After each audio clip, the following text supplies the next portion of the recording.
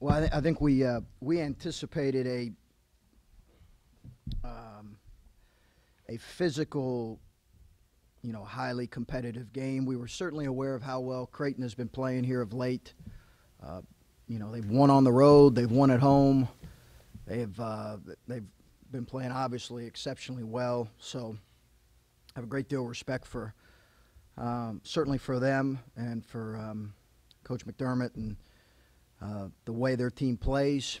Uh, they really scheme defensively uh, to try to take you out of some things, and uh, they were able to do that at, uh, certainly at times. But I'm just, you know, it's it's, it's probably as proud of as proud of a group as I've been, given, you know, what we came off of on Saturday night. obviously, losing um, a, a teammate to injury and playing in a really hostile environment. I don't know that I've been more proud of a group than than uh, this group, and I just thought they showed great grit uh, down the stretch to, uh, you know, to pull this one out.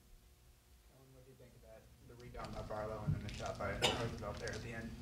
Uh, it's it's just huge huge play by Alex. Um, he makes them all the time in practice and makes them all the time in the game, and that's what makes him a special player. And then um, obviously Roosevelt, he, has got ice in his veins, so it was it was great to great to see him, you know, attack and be aggressive late, and you know, see that shot going was fantastic. So, great win.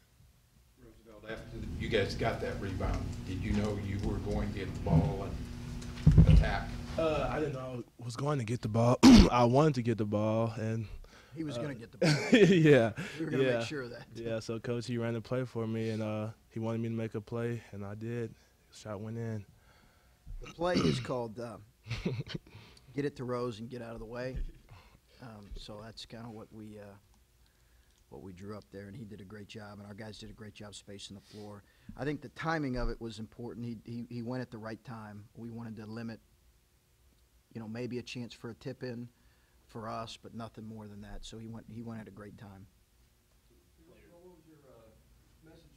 There. It's pretty emotional after you made that. You went over to the scores table. What, what were you saying there? Oh no, I was just telling them have a good trip back. There was uh, fans was talking to me throughout the whole game, so I was just telling them have a good trip back home. you guys showed at the end of the game probably being the difference and ultimately winning, being a win for you guys. I guess, did you say anything? Was there anything different at the end of the game? Be more aware in that area, or what? Uh, no, coach just told us to keep grinding out. We was right where we wanted to be the entire game. They he was trying to get their fans into it, and our uh, team we stayed together, stayed focused, and we came out with the win.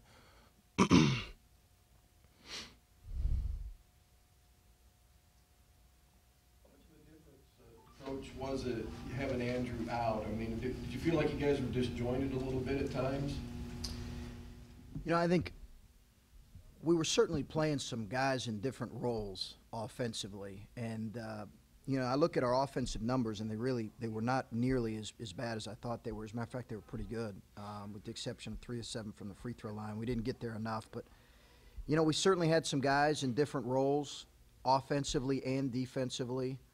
Um, you know, I think our zone helped us uh, because of that defensively, but you know, if we were disjointed tonight, probably Creighton deserves as much credit for that as anything. Coach, uh, they had a similar situation against Seton Hall here where they had a late play and they got a good look out of it. What were what was your message to the team to kind of defend that last 1.9 seconds? Yeah, we just we wanted them to catch the ball coming back towards the ball. We wanted to keep numbers in front. Um, and uh, we wanted to put great presence on the ball. We thought they might try to screen uh, screen Cam there, and Cam did a great job not uh, not falling for that. But I think uh, we just wanted them to catch the ball coming back um, towards. We wanted to keep everybody in front of us.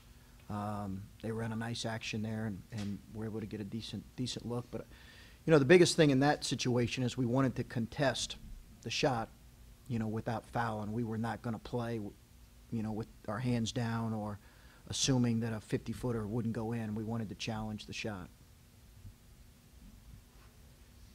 Coach uh, Kellen said that Alex gets those kind of rebounds all the time in practice, but when you saw him come up with that ball, what's what's going through your mind?